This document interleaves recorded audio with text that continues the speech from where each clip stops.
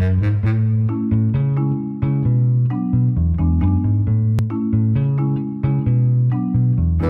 welcome to Barnetimen. My name is Jennifer, and I work at Vesterheim Norwegian American Museum in Decorah, Iowa. And I'm really happy to be with you here today because I have a bunch of things to show you from the museum's collection, and they all have to do with shapes.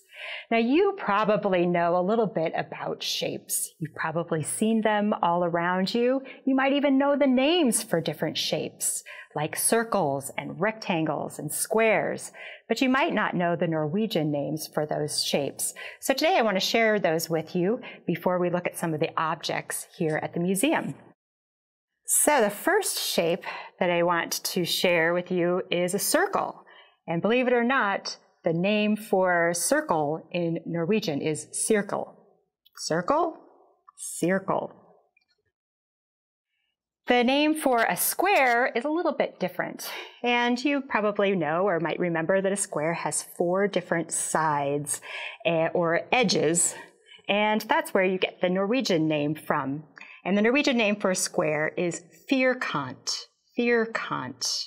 And that means four edges or four four sides. This shape is a triangle, and it has three sides, three sort of angles. And you remember that a um, side or an edge in Norwegian is kant, so trekant, three sides, triangle, trekant. Once again, very easy word in Norwegian. This is a rectangle, and it has two long sides and two short sides. And in Norwegian, it's called a rectangle, rectangle. So rectangle, rectangle. Same thing for an oval. Now, an oval is a little bit different from a circle. A circle uh, is a little bit wider and it doesn't have these sort of longer edges on it, but um, still sort of a rounded shape. So this is an oval in English and an oval in Norwegian. How about this shape? This is a diamond. And you can see it has an interesting shape. It sort of looks like a, a square or a rectangle, but it's a diamond. And in Norwegian, it's pronounced diamant. Diamant. So diamond, diamant. Maybe you've seen these before. This is a star. And in Norwegian, the word is stjerne, stjerne. And last, how about a heart? And in Norwegian, the word is hjerte, hjerte. So heart and hjerte. Well, now I want to show you a few of the shapes that you can find in things at the museum. And you maybe have looked all around your house or you've been outside and you've seen shapes too, because shapes make up most or all of the things that, that we see around us. So I uh, grabbed a few things from the museum's collection and I'm going to put on some gloves today to protect those objects from the dirt and oil on my hands even though I washed them, they may still not be as clean, and I don't want those objects to get dirty. So I'm going to put these gloves on, and then I'm going to show you some objects that have some shapes in them. First object here looks kind of like a placemat, and it's a printed uh, sort of um, textile, a piece of cloth, and maybe you can see some shapes in there. Do you see any rectangles? Do you see any squares? How about some triangles? So can we find a rectangle? Maybe the doors of those buildings. Also got a triangle here, maybe the tops of those buildings. Here's another object from the museum's collection. This is a beautiful piece from a bunad or a folk costume. And it, you would wear it right here on a, on a woman or a girl's costume. And it's a beautiful uh, decor decorative part of that costume or dress. And on here, there are lots of different shapes that make up this particular design. How about in the center? Can you find a star? We've also, the whole piece is kind of a, a rectangle or maybe it's a square. We have some triangles here. So lots of shapes on this one very small piece. It's going to be getting cold soon, so I pulled out one of the hats from the museum's collection. This is a nice heavy wool stocking cap, and you can see lots of different shapes in this particular piece. What I notice most are some diamonds. Can you find the diamonds?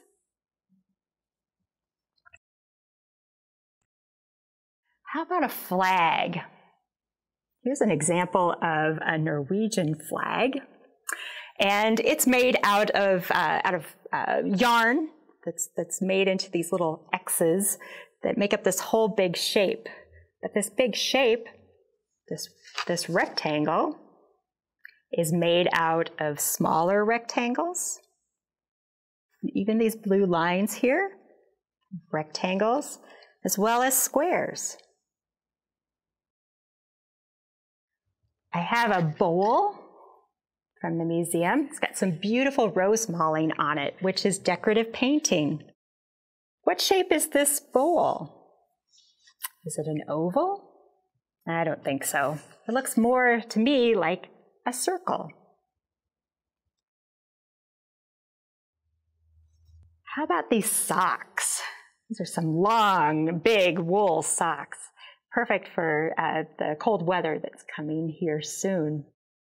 What do you see on here? What shapes can you find? Well, I think mostly I see stars on these socks.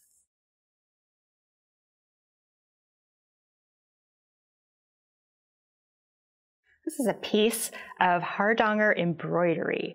Um, it's a kind of cut work embroidery, and I can kind of peek through it and, and see you because bits of the cloth have been taken away after someone has sewn around those pieces.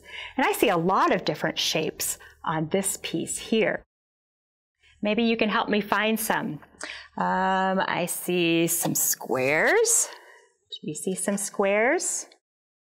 I see what looks like some triangles too. Can you find some triangles? Lots of different shapes. How about this container here? This is a bentwood box that you could use to put all kinds of things inside. Candy, you could put uh, other kinds of food in here. How about some craft supplies? What shape is this? To me, it looks like an oval. And last here, I have some interesting spoons from the collection. Now, these are wedding spoons, and people who were at a wedding, the bride and the and the groom, the people who are getting married, would eat with these. So they're kind of fun and, and linked together, but just for, for that occasion. But I was looking at these spoons, and I saw a couple of different shapes. Down here, the bowl of the spoon, so that part that you actually eat out of the food out of, looks like an oval to me. And if you look right here, you, I think you can see a heart. So all of these things at the museum are made out of shapes. And you can find shapes pretty much anywhere that you look. Now, on the museum's uh, website, you can find some activities that relate to shapes. And one thing that you can do is make yourself a shape finder or a sort of spyglass. So you can uh, download that, or you can actually make one of these yourself out of out of paper, um, cardboard, whatever you whatever you'd like. So just may you can just make this little shape here that looks kind of like a magnifying glass, and when you look through it, you can see all kinds of shapes. So if I'm looking around my yard, maybe I see some triangles in the trees, maybe I see trash cans that are beside my garage and those look like rectangles. So you can use your spyglass uh, your shape finder to see what kinds of shapes you can find around you. And I didn't take the time today, but you could also decorate this and make it very interesting. Now you don't have to just look around um, your house at things. You might be doing some uh, some reading at home, and there's lots of books that uh, picture books, especially that have lots of great illustrations. So I happen to like Jan Brett and all of her illustrations. She uses a lot of shapes. So, for example, on the uh, cover of this particular book, I think if I were to look at it, I would see a lot of shapes, like circles. Circles. These look kind of like these parts here might be rectangles. All kinds of shapes. So you don't have to just look around you, you can look in things like books too for shapes. Well, another thing that you might like to do is to create things out of shapes. And so on the museum's website, there are also some uh, other downloadables, um, some uh, sheets of paper that you can uh, copy, and then you can create things out of these shapes.